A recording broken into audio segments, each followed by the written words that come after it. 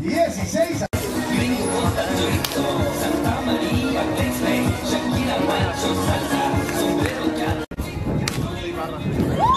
Bueno, acción ahora de Laura Brunca.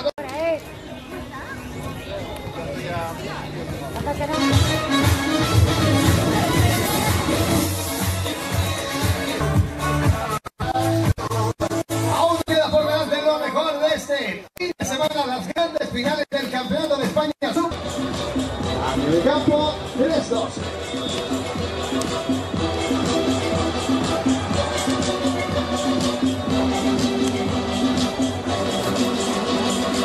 La 13. Segundo set. A la línea de ataque de Ollane. 13 a 6. Excepto Macor, vamos. 7-14. Sigue manteniendo esa bola de 6 partido. La cual aplauso para ellas, terceras clasificadas. Y como no, también fuerte el aplauso para Judith Querón y Laura Blum, cuartas clasificadas de este Campeonato de España Sub-21.